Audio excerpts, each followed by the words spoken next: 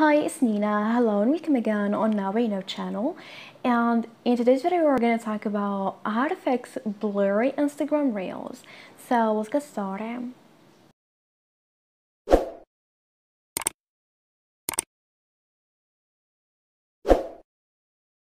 Well, after getting the app, and if you're uploading a reel on Instagram, and then publish it, but after that, you see that the reel is a bit blurred. Here, what we're gonna do to fix this problem, here we're gonna tap on the plus icon at the very bottom, and then choose reel.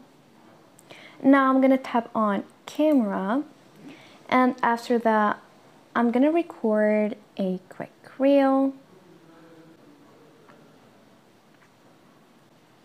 Now tap on next at the bottom right corner. Again, tap on next at the bottom right corner. And now we're gonna scroll all the way down and tap on advanced settings. And as you see here at the bottom, we have media upload quality. So upload a highest quality. Always upload the highest quality reels, even if uploading takes longer and when this off will automatically adjust upload quality to fit network conditions. So, so to fix blurry Instagram Reels, toggle this on.